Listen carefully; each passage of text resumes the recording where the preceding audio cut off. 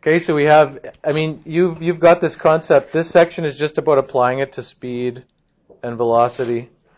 Um, this is the slope of the tangent line here. This is the first derivative. The derivative of anything is the rate of change of that quantity. You can use either thing here. For some reason, they use S for position in that textbook. I don't know why.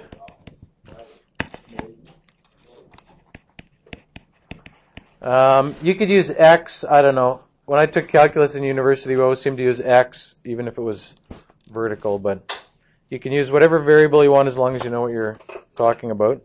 Uh, the other thing you have to remember, I guess, is the difference between speed and velocity.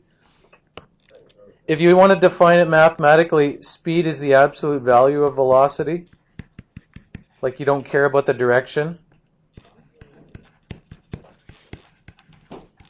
Um, you have a speed limit on the roads as you drive. You don't have a velocity limit, right?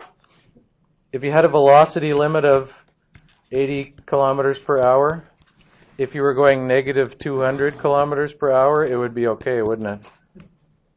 You have a speed limit because we don't care about the direction. We care that the number is less than 80, right?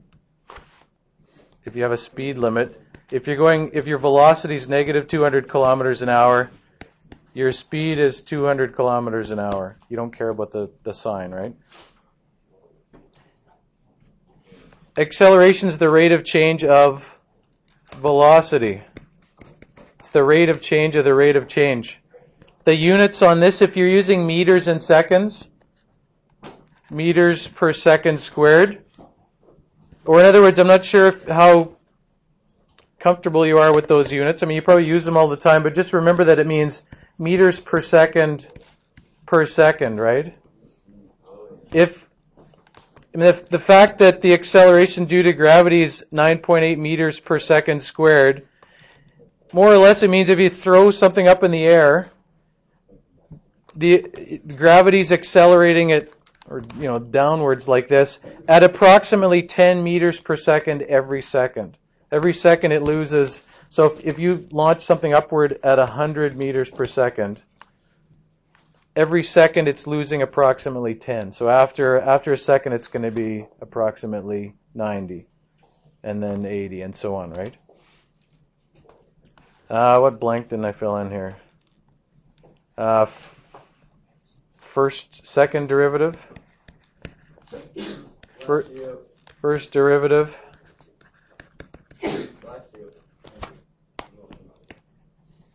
This page is just things that, I mean, hopefully are kind of obvious here. Whoops, did I do that too fast?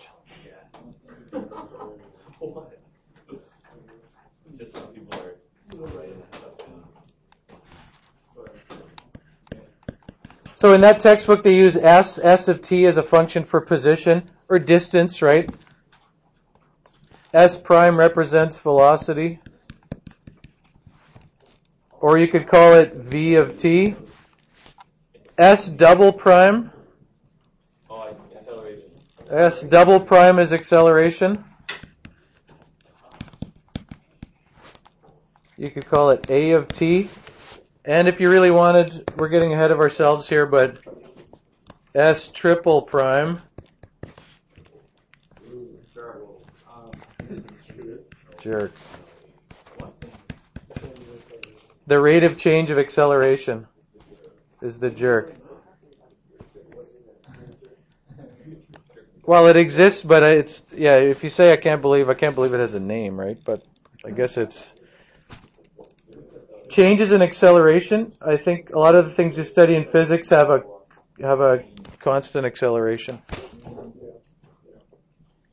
If you're if the first derivative, in other words, if the velocity is greater than zero, then it's moving forwards or in the positive direction or something like that, right? Moving forwards, positive direction, however it is.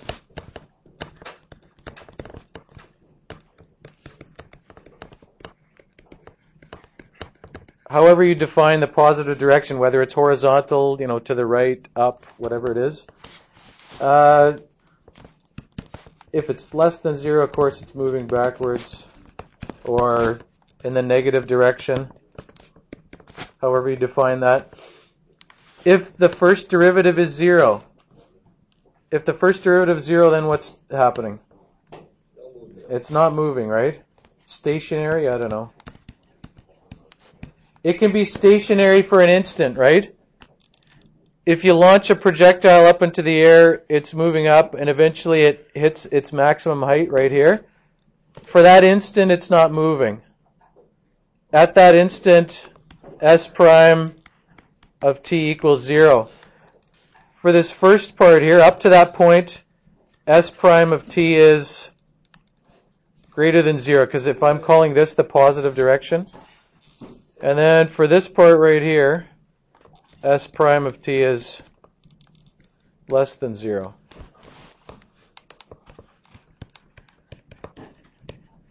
I think you know all these things already.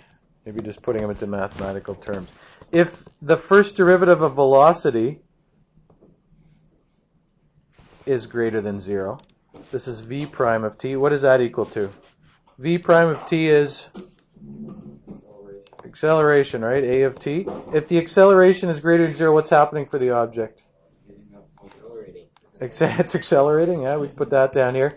In everyday terms, you could say it's speeding up, except that we run into problems when we talk about negative, negative acceleration or negative velocity.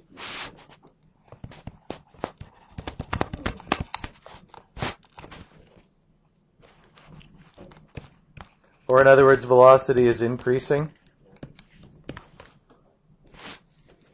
Um, accelerating, I, I, I, hesitate to use the word decelerating here. Yeah, I mean accelerating positively, accelerating negatively. If we're talking about positive velocities, right, then it's easy to use those words, but as soon as you have negative, then it's tough. So accelerating negatively. In other words, velocity is decreasing. If it's zero, then what's happening? Yeah, it's constant speed. It doesn't mean it's not moving. If if this is zero,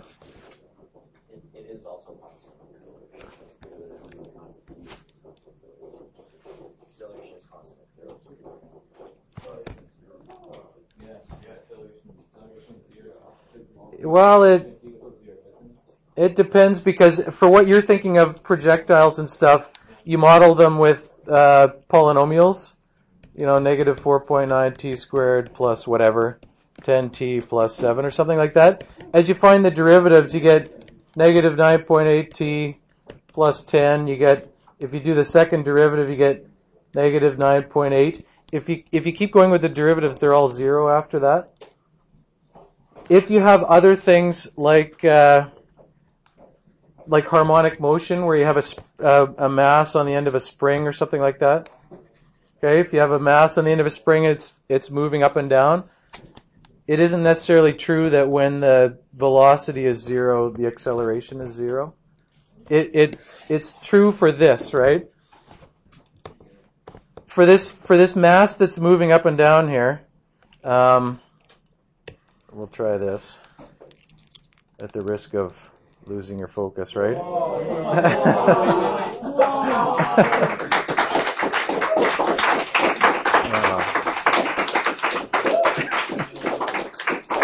um, no, it's not necessary. That's uh, I I gotta quit on that, I guess, eh? quit on gotta quit on a high note. Um, well, other than the fact that the mass was compressing and expanding as it went, but um, if you if you have this case, I don't want to get ahead of what we're thinking about here, but you were just making the connection that if the velocity is um, if it's got a constant velocity, it's got a constant acceleration. It, this is a case where at an instant where the velocity is zero, it isn't true that the acceleration is also zero. Right? The velocity is zero when the mass is at the bottom but it's still being accelerated upwards at that in that situation, right? Yes. Ten minutes. Thank you. 10 minutes, and that's probably good for today.